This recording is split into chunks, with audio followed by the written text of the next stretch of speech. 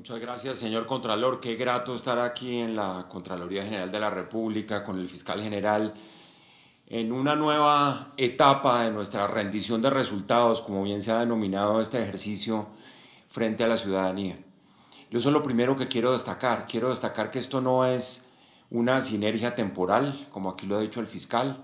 Esto tiene que ser de aquí en adelante un frente conjunto de las entidades de control para defender los recursos públicos de los colombianos. Ojalá que de esta pandemia quedara eso. Con que quedara eso, hemos dado un paso gigantesco en los escenarios de la transparencia, de la probidad, de la moralidad pública. Porque esto se ha convertido en una especie de vacuna contra los actos de corrupción que se volvieron comunes a partir de la segunda semana de marzo con ocasión del confinamiento.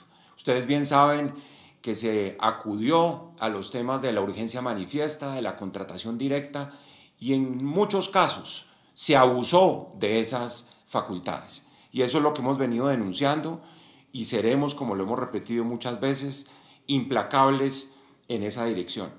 Hemos demostrado pues que independientemente de que el país se haya confinado, las instituciones de control siguen funcionando. Aquí no hemos parado en el ejercicio de nuestras competencias y me parece que si algo hemos aportado ha sido precisamente en demostrarle a tantas personas que creen que los recursos públicos son para el beneficio particular. Esa era además la definición de corrupción desde los griegos y por eso es tan importante resaltarla en este momento. Al fin y al cabo, se trata de desarraigar unas costumbres que hacen parte del ejercicio de la política en este país y que se trataron de convertir en ley. Y es creer que los recursos públicos son plata de bolsillo para los funcionarios o que uno puede aprovecharse de la desgracia de los colombianos que ha venido por cuenta de una pandemia para malversar esos recursos públicos. Y por eso quiero destacar, lo mencionaba el fiscal y quiero resaltar también el papel de la Contraloría en esto, lo que hoy se va a anunciar en materia de financiamiento de campañas. Me parece que dentro de todas las cosas que hemos hecho, esta es la más trascendental. Esto es esencial. Nosotros hemos venido repitiendo desde siempre que el pozo séptico de la política, del ejercicio de la política en Colombia, es el financiamiento de las campañas políticas. Y lo que hemos venido descubriendo en las últimas horas, y hay que reconocerlo, como consecuencia de los aportes de las organizaciones de la sociedad civil, porque aquí quien puso el grito en el cielo fue Transparencia Internacional, el tanque de pensamiento más importante de lucha contra la corrupción en el mundo, Transparencia por Colombia, seis ONG regionales que nos entregaron una primera información, una información en relación con seis departamentos y la ciudad de Bogotá, prendiendo todas las alarmas de lo que ha significado una práctica absolutamente bárbara y lamentable, y es tratar de recuperar, en el caso de muchos inversores en la política, de quienes han financiado campañas, recuperar sus inversiones con la plata de la contratación del COVID o destinada por el Estado a satisfacer las necesidades de los colombianos. Eso es imperdonable, eso es una ignominia. Y de aquí en adelante lo que hemos es constituido un frente, el señor Contralor ya se, va a referir específicamente a los casos de, de cuatro o cinco gobernaciones y más de 30 alcaldías, en donde está claramente demostrado, según la información que en un primer momento adelantó precisamente esta coalición, esta alianza de ciudadanos que se llama Ciudadanía Activa, en donde está demostrado que efectivamente en muchas gobernaciones y en muchos municipios, con un aporte muy mínimo de un privado una campaña política, eso se convirtió en un maravilloso contrato en la mitad de la pandemia de Colombia. Y eso hay que denunciarlo. Y este es un frente de investigación de estas tres entidades, frente en el cual vamos con todo, que lo sepan los corruptos además, que lo sepan que vamos a desarraigar esa costumbre de aprovecharse de la contratación pública para pagar los favores por cuenta del financiamiento de las campañas. En ese orden de ideas, yo quiero pasar muy rápido respecto de lo que es el balance consolidado, porque hoy es la tercera rueda de prensa, hemos venido mensualmente rindiendo resultados y lo que está más o menos en la presentación voy a mencionarlo muy rápidamente. De 2.376 casos priorizados, de ahí salieron 813 procesos disciplinarios en todo el país, 1.563 procesos preventivos.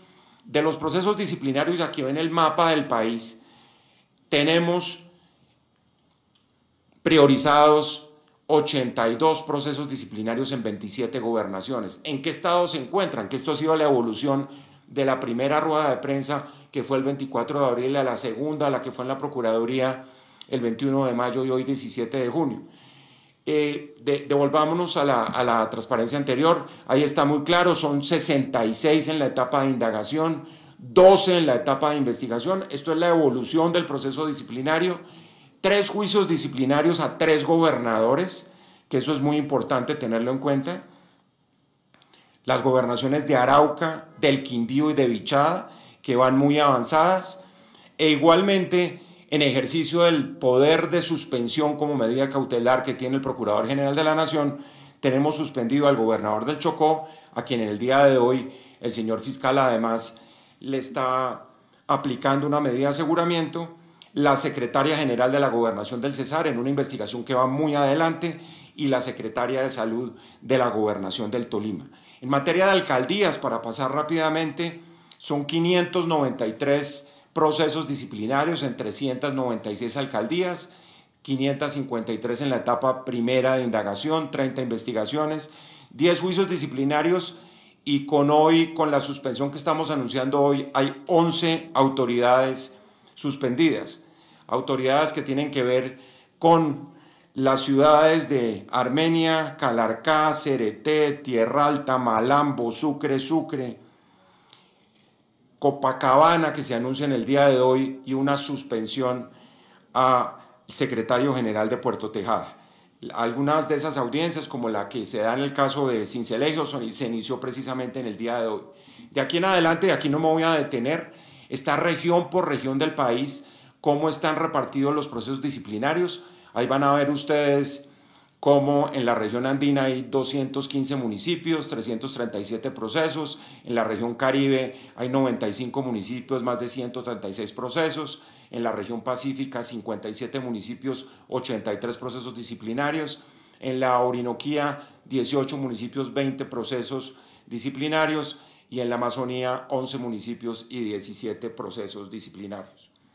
También es muy importante examinar lo que estamos hoy mencionando, porque al fin y al cabo corresponde a una norma fundamental de pulcritud y de decencia en la política, que es la transparencia en el financiamiento de las campañas.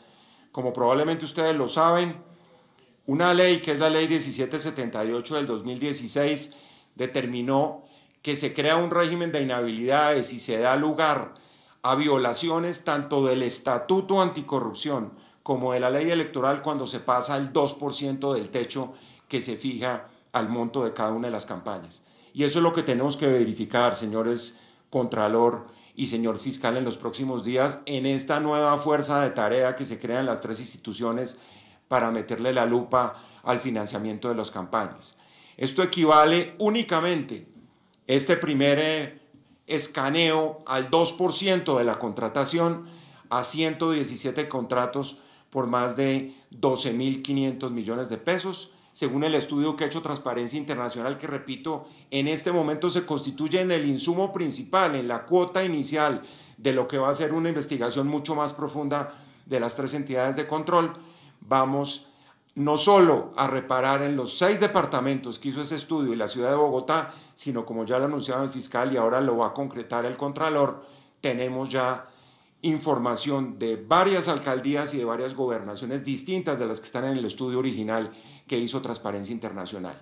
Entonces, fuera de esos departamentos, tenemos además eh, un estudio de, de aportantes a las campañas. Son 117 financiadores de campaña por un monto de 12.500 millones de pesos, en donde quienes aportaron simplemente 4.700 millones de pesos por lo menos recibieron en una primera mirada 10 veces lo que aportaron. Y como el Contralor lo va a contar ahora más adelante, si ustedes ven caso por caso, en el 95% de los casos se van a encontrar un valor de aporte de quien está financiando una campaña política y una retribución por un contrato que muchas veces supera 10, 15 o 20 veces el aporte de la campaña. Esto aquí más claro no canta un gallo. Está clarísimo que es pago de favores por financiamiento de campaña y ahí la gravedad de esa beta de investigación que, repito, abren hoy los organismos de control en Colombia. De esos 147 contratos, les decía, son de un valor de 47 mil millones de pesos, cuando los aportes, repito, fueron únicamente 4.700. Es ahí de entrada y en una primera mirada es 10 veces lo que aportaron los privados a las campañas en el caso de estos departamentos. A 77 aportantes de campaña, solo a 8 contratistas, aquí hay otra cifra que es gravísima, oigan esto, a solo 8 contratistas se le adjudicaron más de 49 contratos por casi 44 mil millones de pesos, es decir, más del 90% del monto. Esto clarísimamente demuestra que aquí hay una cartelización de la contratación también, repito, como pago a la financiación de las campañas. Lo ha dicho la Dirección de Investigación, Información y Análisis y Reacción Inmediata de la Contraloría, que lo tiene ya completamente documentado. Aquí está clarísimo cuál es la tipología de las faltas que se están mencionando. Y ya las mencionaron ustedes en, en la presentación introductoria. Aquí hay de todo, aquí hay falta de idoneidad de contratistas, aquí hay violación del régimen de prohibiciones, inhabilidades, incompatibilidades y conflicto de intereses, aquí hay sobreprecios, aquí hay eventual acaparamiento, cartelización, que es el, digamos, el gran pecado que se está cometiendo acá en este primer escaneo, eh, plazos insuficientes para ejecutar los contratos, se descubren muchos de los contratos que se le dan al contratista dos y tres días para cumplir con el objeto contractual, demostrando el acto de corrupción que hay detrás de todo esto. Y por supuesto, la inexistencia de población beneficiaria y la adición de contratos injustificada. Esto yo lo quiero destacar, eh, apreciados Contralor y Fiscal, porque esto demuestra que además como lo está diciendo todo el país, si saltamos a la virtualidad en la mitad de la, de la pandemia, y si todos queremos que esto sea digital, esto más que nunca demuestra el papel tan importante que juega la Contraloría con toda esa modernización tecnológica que ha tenido, en el que está la Fiscalía y en el que está la Procuraduría. Y decíamos ahora, ese tiene que ser el punto de convergencia. El futuro de esto, querido Contralor, y fiscal es sumar precisamente y convertir esto en una gran fortaleza de los organismos de control en Colombia. Dicho esto, insisto en que una de las grandes conclusiones, ya el Contralor les contará los detalles de todo esto, es cómo recuperaron, no solo recuperaron las donaciones que hicieron a las campañas políticas, y estoy hablando del 2018 y del 2019, sino que además porcentualmente ganaron mucho más de lo que invirtieron. Esto es como un jueguito de una bolsa entre contratos, pesos y votos, en donde quien hizo la inversión ganó prácticamente no el 100%, sino el 1000% de lo que invirtió en las campañas políticas. Una cosa, repito, monstruosa. En relación con, las, con los anuncios disciplinarios, yo quiero referirme en primer lugar al primer fallo disciplinario que expide la Contraloría. A dos meses de haber iniciado el proceso tenemos el primer fallo por COVID que eso es trascendental. Y es la primera sanción en un proceso verbal que tiene que ver con una contratación que hizo se hizo en la ciudad de Armenia, una contratación en donde se pagó una suma de dinero sin contrato, en donde se trató de legalizar hechos cumplidos, se violaron todas las reglas de contratación estatal y la Procuraduría General de la Nación, repito, en el primer fallo, caso COVID, decide suspender e inhabilitar al director de bienes de la ciudad de Armenia por cuatro meses precisamente por haber violado todas las normas de contratación. En segundo lugar, y como consecuencia además de los fallos de las decisiones que hemos venido tomando desde el punto de vista disciplinario, en el caso del gobernador de Arauca, hoy formulamos pliego de cargos contra el gobernador de Arauca y secretarios de despacho por presuntamente haber sido los sujetos activos de todos los sobrecostos en paquetes alimentarios. Ahí está la famosa lata de atún de esa suma exorbitante que todos conocemos, una contratación por más de 4.500 millones de pesos que para la Procuraduría a estas alturas presuntamente constituye una falta gravísima. E igualmente nos encontramos en el caso de Arauca con una audiencia disciplinaria que está funcionando desde el 15 de mayo por un contrato irregular firmado para la realización de unos eventos y actividades artísticas en Cravo Norte por 570 millones de pesos cuando ya estábamos en la mitad de la pandemia. Lo segundo son las citaciones a audiencia disciplinaria. Ahí estamos citando audiencia disciplinaria al alcalde del municipio del Molino, La Guajira, por sobrecostos en compra de mercados, por casi 100 millones de pesos, al alcalde de Anapoima, por irregularidades contractuales en suministro de material publicitario, precisamente por la compra inopinada, y, repito, todo esto es presunto porque estamos es en el proceso de investigación de bienes no requeridos para mitigar el COVID y las consecuencias de la pandemia. En materia de investigaciones disciplinarias, el alcalde de Copacabana, esto lo estamos anunciando en el día de hoy, una investigación disciplinaria y suspensión provisional por tres meses al alcalde, al personero, una investigación a la secretaria del gobierno municipal por presuntas irregularidades en el traslado de más de 300 migrantes con destino a la frontera colombo-venezolana sin el cumplimiento de la normatividad, los protocolos y los procedimientos establecidos. Si estamos tratando de defender los derechos de quienes están en territorio colombiano, por supuesto que tenemos que condenar todo tipo de prácticas en donde la violación de las normas y la xenofobia muchas veces nos lleva a violentar los derechos fundamentales de muchos ciudadanos. Y esa es la razón de ser en el caso de la apertura de investigación de, este municipio. Eh, en el caso del alcalde de Acacías y los secretarios del despacho, sobre costos en adquisición de más de 500 mercados. Aquí va precisamente contra el alcalde, la secretaria de gobierno y, la, y el jefe de la oficina de contratación.